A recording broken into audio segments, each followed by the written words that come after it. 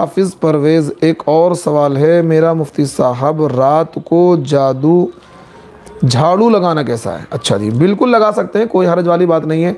ये जो बड़े कुछ जाहिल किस्म के यूट्यूबर आते हैं कि भाई, इन चीज़ों से गरीबी आती है, इन चीज़ों से फ़कीरी आती है, ये सरासर जहालत की बातें हैं, नादानी की बातें हैं। अगर ज़रूरत आपको रात में झाड़ू की है तो रात में ही लगाएँगे, ना कि दिन में लगाएँगे। अब फॉर एग्ज़ाम्पल कोई किसी किसी बंदे के घर में काम होता है और ऐसा काम होता है जिससे कुछ फैलावा हो जाता है या घर में गंदगी हो जाती है। अब वो रात में देर तक, नौ बजे तक, दस बजे तक काम करते हैं तो क्या फिर वो, और छोटा कमरा है, आमतौर पर दिल्ली में हमने देखा है, एक ही कमरा होता है, उसमें घर में बहुत सारे काम, कोई- किसी का धागे काटने का काम है, किसी का कुछ काम है। अब वो रात में दस बजे तक करते हैं, ग्यारह बजे तक करते हैं, उसके बाद फिर सोने की तैयारी करते हैं तो क्या अब वो उसी गंदगी में सो जाए? उसमें क्या है, झाड़ू ना लगाएँ? ये सरासर जहालत की बातें हैं कि रात में झाड़ू ना लगाएँ, ये ना करें, वो ना करें। ये वो बातें हैं जिनका हकीकत से कोई ताल्लुक़ नहीं है। बस मन घड़त बातें लोगों ने उड़ा दी हैं। बिल्कुल लगा सकते हैं रात में झाड़ू।